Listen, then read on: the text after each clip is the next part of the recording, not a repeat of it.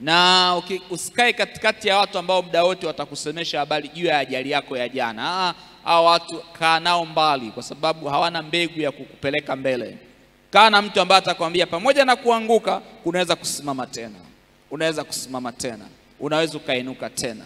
Hakikisha kwamba ndani mwako inaumbika roho, akili ya uthubutu, ya uthubutu. Na tena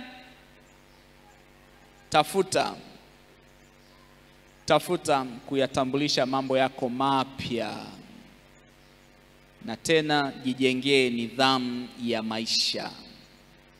Vijana, jenga nidhamu ya maisha yako, jenga nidhamu, jenga nidhamu, jijengee nidhamu. Hata watu wanaokuzunguka yani wapate nafasi ya kukufahamu.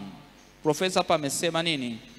Build your own identity, yani uwe na identity ya kwako jijengee nidhamu, jijengee nidhamu ya maisha, yaani ujitafute, alafu nini, ujipate, utembee kwenye mambo ambayo unayaamini, mahali popote ambako unawekwa, mambo unayoyaamini, yapo unayoyaamini, usiyoyaamini weka mbali kwenye moyo wako, weka mbali kwenye akili yako, weka mbali kwenye ratiba zako, weka mbali kwenye muda wako, tembea kwenye mambo unayoyaamini na hayo unayoyaamini vile vile uwe na uhakika kwamba neno la Mungu linatoa tiki.